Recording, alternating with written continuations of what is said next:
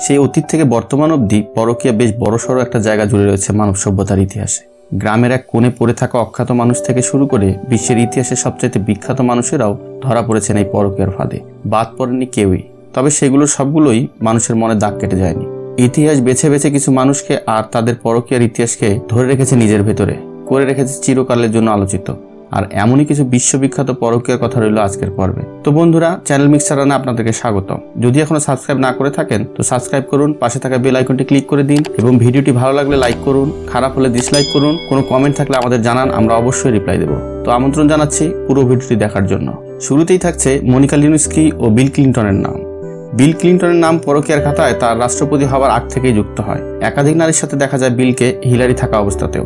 তবে সবচাইতে ঝামেলাপূর্ণ পরকীয়ার সম্পর্কটিতে বিল পয়েন্ট মনিকা লিওনস্কিকে নিয়ে। উনিশশো পঁচানব্বই থেকে উনিশশো ছিয়ানব্বই সালে হোয়াইট হাউসের কর্মচারী বাইশ বছরের মনিকা লিওনস্কি ছিলেন যেমন সুন্দরী, তেমনি আবেদনময়ী। মনিকার প্রেমে পড়ার দায়ে প্রেসিডেন্ট ক্লিন্টনকে আদালতের মুখোমুখি হতে হয়। সে সময় তার সঙ্গে অবৈধ শারীরিক সম্পর্ক স্থাপনের কথা স্বীকার করেন তৎকালীন আমেরিকান প্রেসিডেন্ট বিল ক্লিন্টন। তার বিরুদ্ধে প্রমাণও ছিল বহু। হিলারির কাছে বেশ কয়েকবার হাতে নাতে ধরাও পড়েছিলেন ক্লিন্টন। এ নিয়ে তার স্ত্রী হিলারি ক্লিন্টনকে মহাবিব্রতকর পরিস্থিতিতে পড়তে হয়। হিলারি সেটাকে প্রতিবারই মেনে নিয়েছেন এবং স্বামীর প্রতি শ্রদ্ধাশীল থেকেছেন। তবে পৃথিবীর মানুষের মনে বিল ক্লিন্টন নামটির উপর থেকে শ্রদ্ধা কমে যায়। এই পরকীয়ার কথা দাবানলের মতো ছড়িয়ে পড়েছিল মিডিয়ায়।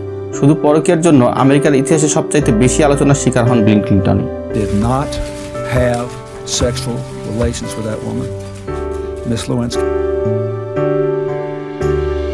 দ্বিতীয় বিখ্যাত মানুষ ডেভিড বেকহ্যাম। ফুটবল ভক্ত ও এর বাইরে সবার জন্যই ফ্যাশন আইকন ডেভিড বেকহ্যাম দুই সালে দু দুটি অভিযোগের শিকার হন। একটিতে বলা হয়, ব্যক্তিগত সহকারী রেবেকা লুসের সাথে পরকীয়ার সম্পর্ক আছে বেকহ্যামের পরবর্তীতে অস্ট্রেলিয়ান মডেল সারা মানবেক নামের এক নারীও দাবি করেন, দুবার বেখামের শয্যাসঙ্গী হওয়ার। যদিও এখন অবধি সেগুলোর কোনোটারই প্রমাণ মেলেনি। ডেভিডের স্ত্রী ভিক্টোরিয়াও আমলে নেননি ব্যাপারগুলো আপনাদের কি মনে হয়, ঘটনাটা কি শুধুই রটনা? কমেন্টে আমাদের জানান। তৃতীয় আলোচনায় টাইগার উডস ও জাইমি গ্রুপসের পরকীয়ার সম্পর্ক।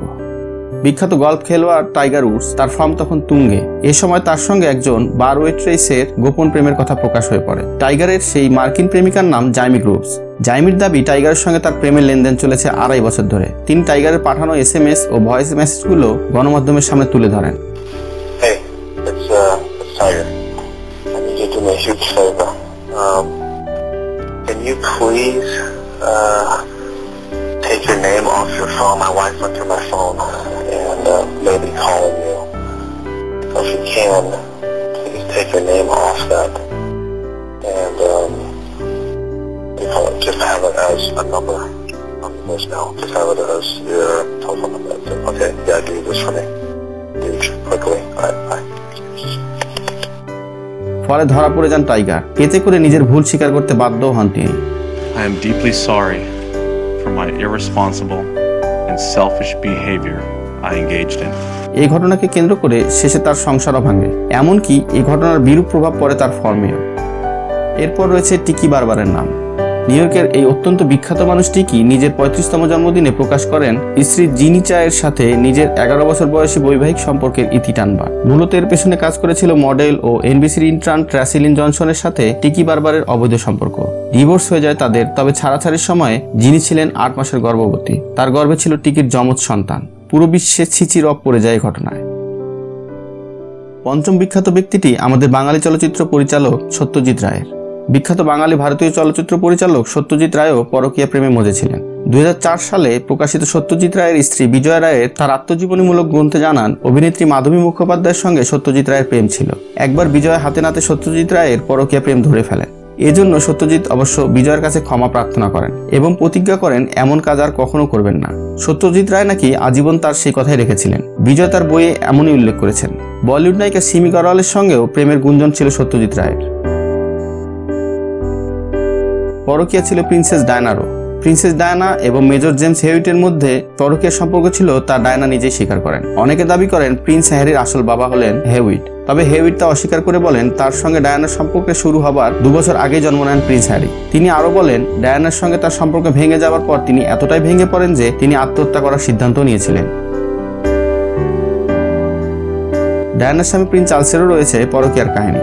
ডায়ানার সঙ্গে বিয়ের আগে থেকেই ক্যামিলাকে চিনতেন চার্লস। সম্পর্কও ছিল অনেকটা গভীর। ক্যামিলাকে পরবর্তীতে বিয়েও করেন চার্লস। বাদ যাননি বিজ্ঞানী আইনস্টাইনও। মিলেভাকে আইনস্টাইন প্রেম করে বিয়ে করেন। এরপর যখন আইনস্টাইন দুই সন্তানের জনক, তখন নতুন করে নিজের খালাতো বোন এলসার প্রেমে পড়েন। নতুন করে বলার কারণ, কৈশোরেও দুজনের মন দেয়া নেওয়া হয়ে গিয়েছিল।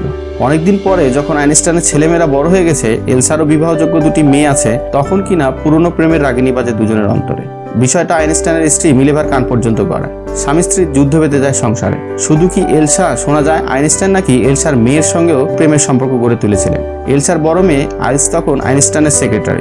গোপনে তার সঙ্গে অভিসারও চলে আইনস্টাইনের। ভাবুন কেমন অদ্ভুত চতুর্ভুজ সম্পর্ক আইনস্টাইনের। এই বিষয়টা জানতেন স্বয়ং এলসাও।